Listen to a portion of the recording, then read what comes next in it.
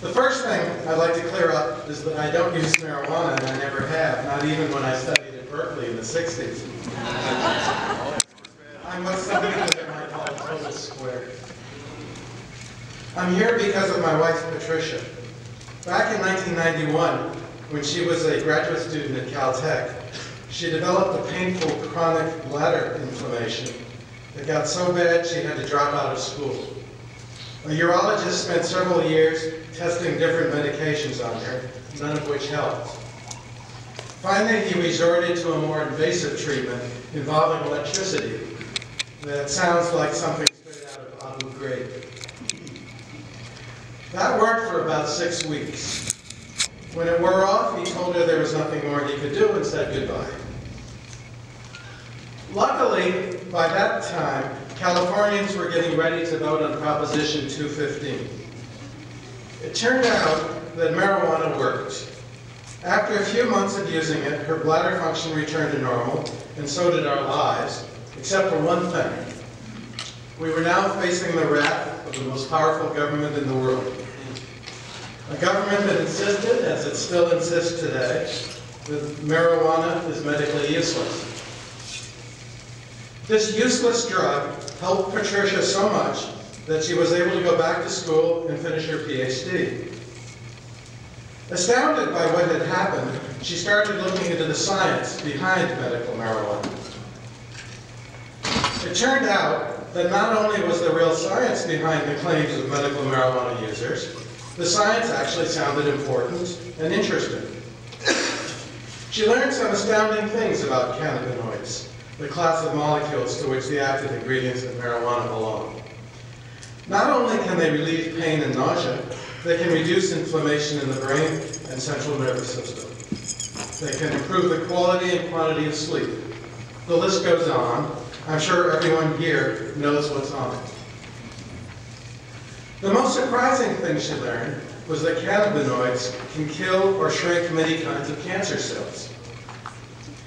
It turns out that the federal government knew back in the 1970s that the cannabinoids in marijuana are able to kill or shrink breast and lung cancer cells. But they refused to authorize any follow-up research until conducting a similar, though secret, preclinical trial in the mid-1990s. They knew that THC would kill cancer cells, yet they failed to follow up on that for two decades and then tried to keep it a secret from the American public. Why would they do that, given the number of Americans who are dying every year from breast and lung cancer? I don't have them here to ask the question, but I bet they kept Americans in the dark about science because they feared it would, quote, send the wrong message to children about drugs, unquote. That's the problem with drug policy and science. The people paid by the government to fight drug abuse like to use science as a propaganda tool in that struggle. There's nothing wrong with that in principle. It's good for people to understand the potential harms of anything they put into their bodies. The problem is, when it comes to marijuana policy, the folks in the drug war bureaucracy step over the line from using science to abusing science, and even censoring science. The Drug Enforcement Administration and the National Institute on Drug Abuse act as a tag team in that respect. The DEA refuses to reschedule marijuana, claiming there isn't enough scientific evidence.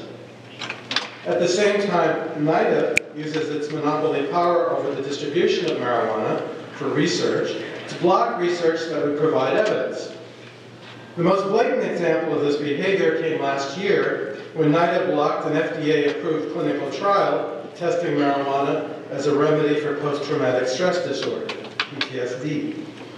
It's especially sad to note that the study participants were veterans with PTSD deemed untreatable by other means.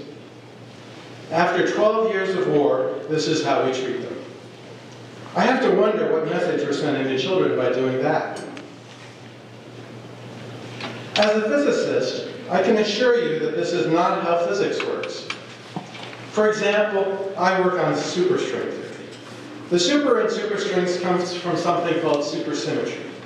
I won't go into what that means here. I'll just say that there are physicists like myself who find this idea extremely appealing, and there are other physicists who dislike the idea of supersymmetry intensely. But as much as the latter group dislikes the idea, they would never dream of blocking research because they suspected the outcome might, quote, send the wrong message about supersymmetry.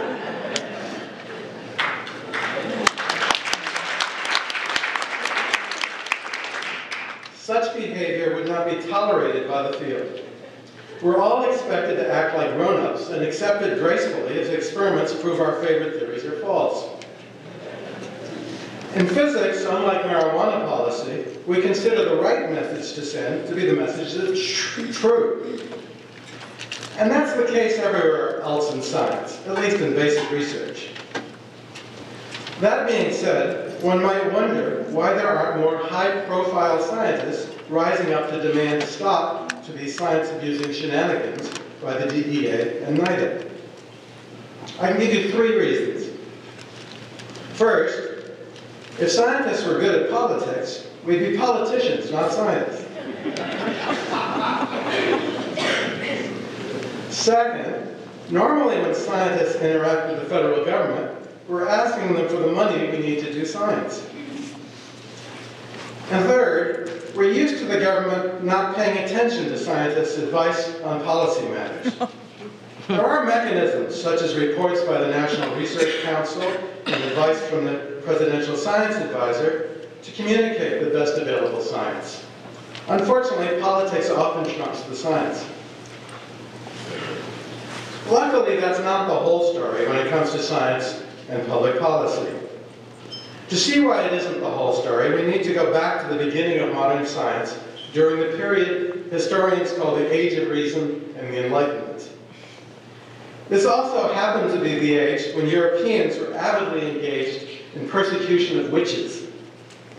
The period of witch hunting lasted from about 1480 until around 1735.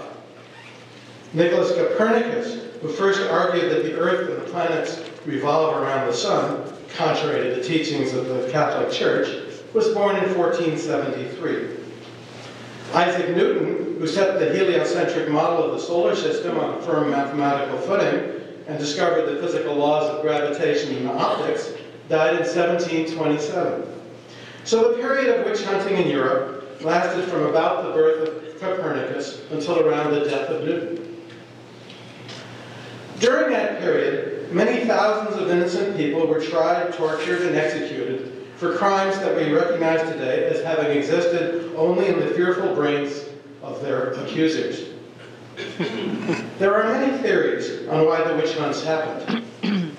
But it's important to note that it was not the protests of famous scientists that stopped them. In fact, most scientists of that era believed in the supernatural, just as many scientists today except what the federal government claims is true about marijuana. At least they believe that fighting back is futile. So what happened during that period of the rise of science in Western culture that led to change? Thanks to the invention of the printing press, the educated public could read about science.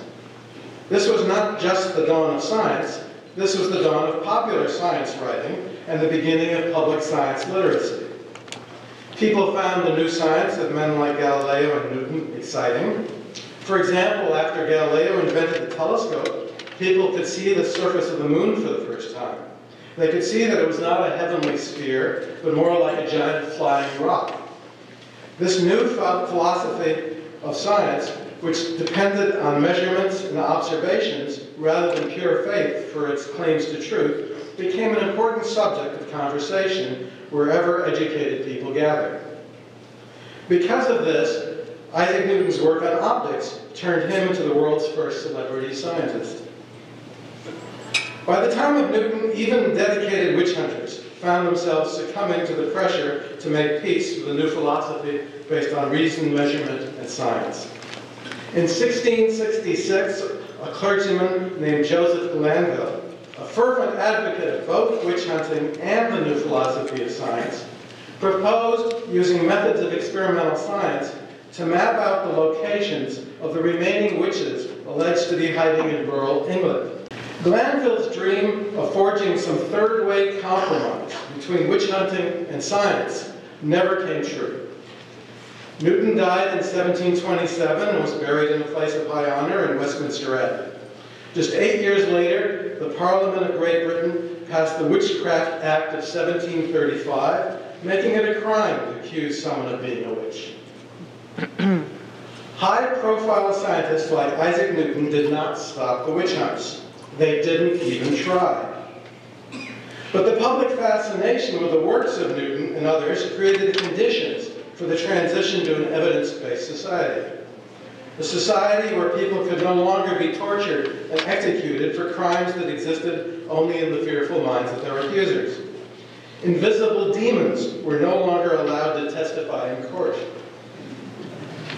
Today you can turn on the TV at almost any time of day and find a show that stars a team of forensic scientists searching for material evidence needed to solve some heinous crime. That's a measure of what kind of evidence-based society we've become. We have entire TV series based on the scientific examination of material evidence. Science has become deeply embedded in our concept of criminal justice. The big exception is marijuana policy. That is where the DEA and NIDA function as the Joseph Glanvilles of the 21st century.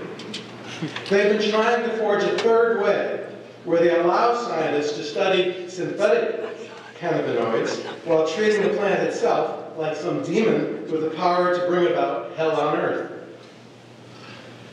Two months after taking office in his first term, President Obama endorsed the principle of basing government policy on sound science. Compared to his predecessor, this was a much-needed breath of fresh air. In a speech celebrating the restoration of federal funding for embryonic stem cell research, our new president said the previous policy was misguided. Rather than furthering discovery, our government has forced out what I believe is a false choice between sound science and moral values, he explained. To better guide federal policy, President Obama issued a memorandum to all executive departments and agencies that began, quote, science and the scientific process must inform and guide decisions of my administration on a wide range of issues, including improvement of public health, protection of the environment, increased efficiency in the use of energy and other resources, mitigation of the threat of climate change, and protection of national security. This directive seemed to confirm America's commitment to innovation by protecting what President Obama called, quote, free and open scientific inquiry, unquote. He said researchers should be able to work free from manipulation or coercion, while policymakers, quote, listen to what they tell us even when it's inconvenient, unquote. Advocates for stem cell research applauded loudly when the president said his intention was, quote, ensuring that scientific data are never distorted or concealed to serve a political agenda, and that we make scientific decisions based on facts, not ideology, unquote. The Obama administration has improved the role of science in the decision-making process in many areas of government. Again, the big exception is marijuana policy, where the president drops comments about frying fish and leaves the concealment and distortion of scientific evidence in marijuana policy unquestioned and unexplored. History, unfortunately, shows science has rarely been a factor in deciding federal marijuana policy. Representing the American Medical Association, Dr. William Woodward testified against the first federal marijuana law in 1937. He explained that marijuana was being used as a medicinal substance and doctors had found no evidence that it was harmful. The new law, he warned, would discourage research into medical applications of the drug. Congress did not take Dr. Woodward's objection seriously, just as the testimony of doctors and scientists on federal marijuana policy is ignored today. The Drug Enforcement Agency takes the position that uh, marijuana belongs to the Schedule 1 category of controlled substances as a deadly narcotic on a par with heroin, too dangerous to be prescribed by doctors for medical use.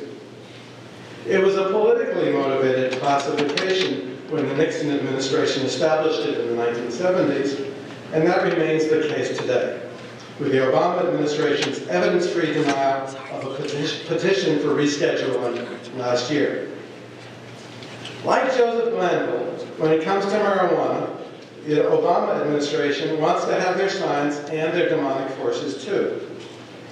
In an evidence-based society, the only way they can get away with this is to use their power to distort and restrict scientific research. But their time is running out. This is the age of the internet, when people don't have to wait for popular science books to be written. They can link directly to peer-reviewed research the moment it's published. This unprecedented level of public access to scientific research is changing the game for medical of marijuana reform. Public skepticism towards the DEA's position on medical marijuana is at an all-time high. 18 states and the District of Columbia have legalized the medical use of marijuana, and this has been accomplished through both the popular vote and the agreement of state legislators. Public debate over the subject has mostly been confined to the question of how exactly marijuana should be delivered to the patients in states allowing its use. Increasing numbers of medical professionals are speaking out in support of the new laws as the biochemical understanding of marijuana's medicinal properties continues to grow. Last year, Dr. Susan Sisley at the University of Arizona at Phoenix attempted to conduct clinical trials of marijuana treatments for American veterans suffering from extreme post-traumatic stress disorder. I referred to this project at the beginning of my talk. She won FDA approval for a placebo-controlled pilot study of 50 veterans. Winning FDA approval would be sufficient for research on any other drug. With marijuana, however, scientists must also apply to the National Institute on Drug Abuse in order to purchase the only legal supply of marijuana. NIDA turned down Dr. Sisley's request. As the director explained, NIDA's mission is to support research into the harms, not the benefits, of marijuana.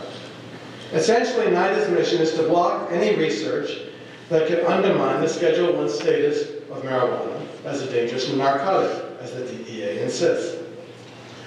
One has to wonder, would NIDA administrators have rejected the study if they had anticipated that it would prove marijuana does not work as a remedy for PTSD? This tactic of NIDA's had some success in the short term. Officials in Arizona declined to add PTSD to the list of qualifying conditions for medical marijuana use in their state. However, this blatant act by NIDA appears set to backfire on them in Oregon, where there was another move to have PTSD recognized as a qualifying condition for medical marijuana. An article in the Oregon Register Guard duly noted that critics of medical marijuana point to the lack of controlled studies done in America. This statement was immediately countered by doctors and psychiatrists complaining that the federal government has stopped such studies from going forward over the past decade. The Obama administration can't get away with claiming there's not enough research now that the public is wise to the fact that the administration itself is keeping the research from being done. You don't have to be a rocket scientist to spot a rigged game. As a former fan of Lance Armstrong, I'd like to add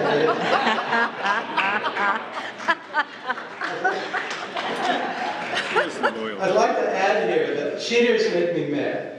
And cheaters who use their power to intimidate other people into cheating with them make me even madder. Now, the outcome of the Tour de France doesn't matter that much to the world in the grand scheme of things. But it's vital for the interest of human society to keep science honest, to keep it from being corrupted and used as a tool for anything other than the search for the truth about the physically measurable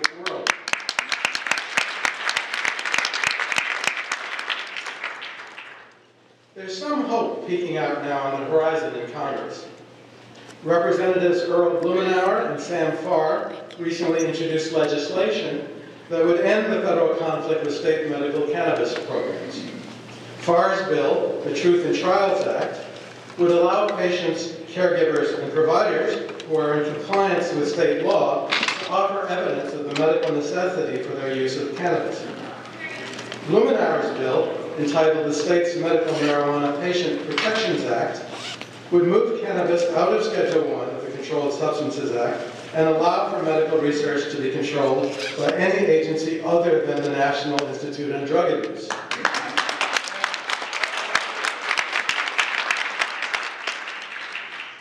Both bills seek to move marijuana from beyond the realm of the demonic influence and into the normal evidence-based world of the 21st century. However, I view Blumenauer's bill as the more important of the two because it would allow for open and objective research on marijuana governed by scientists rather than by the DEA and NIDA. Those two agencies get their funding largely based on the public fear of marijuana. They have a vested interest in abusing science to maintain that level of fear. Consider what American science might look like if all research were run like marijuana research is being run now. Suppose the Institute for Creation Science were put in charge of approving paleontology digs into signs of human evolution. Imagine what would happen to the environment if we gave coal and oil companies the power to block any climate research they didn't. We have. The fact is that science and literacy is a tool for social power. People are seeing this fact in action right here, right now, at this conference, and in the changes that have been effected in marijuana policy already in the 16 or so years since the passage of Proposition. Society is advancing very rapidly in terms of science and technology. Anyone who wants a say in the future had better learn to speak the language of science. I hope you'll come away from this meeting with more than just a commitment to reforming marijuana science. I hope you'll come away with a desire to keep learning science, to make sure your children are science literate, and help further the cause of science, technology, engineering, and math education at all levels in the educational system. Finally, let us try to persuade President Obama to include medical marijuana research in his call for free and open scientific inquiry, free from manipulation or coercion. Thank you. Thank you. Nice.